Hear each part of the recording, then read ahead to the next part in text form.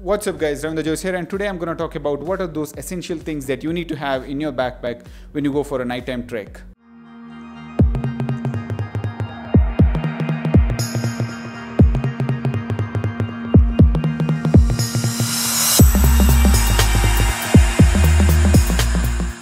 I've been to a nighttime trek recently and there's a video on top if you haven't checked already. Well, the most important thing is to keep your backpack as light as possible. There are a few important things that you need to consider.